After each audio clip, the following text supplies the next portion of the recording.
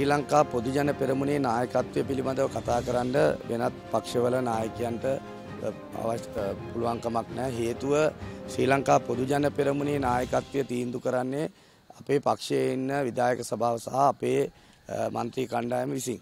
ඒ නිසා විමල් වීරවංශ ඇමතුමා ඒ කරපු ප්‍රකාශය මහින්ද රාජපක්ෂ මැතිතුමා කියන්නේ මේ රට බේරගත් නායකයා මේ රටේ සුවහසක් ජනතාවගේ හදවත් දිනාගත් නායකයා තමයි අපේ පක්ෂ නායකයා. එය වෙනස් කරන්න කියලා යම් යෝජනාවක් කිරීම අපි පිළිගන්න පුළුවන්කමක් නෑ.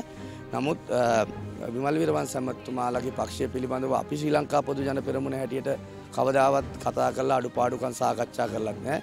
ඒ නිසා මේක අපි සාමකාමීව පක්ෂයේ අතිකරු ජනාධිපත්තුමත් ගරු අග්‍රාමාත්‍ය මහින්ද රාජපක්ෂ මැතිතුමා ප්‍රමුඛ අපේ නායකයෝ එතුමන්ලත් එක්ක සාකච්ඡා කරලා පක්ෂ නායක හමුවක් තියලා ඒව ප්‍රශ්න විසඳගන්න. breaking.lk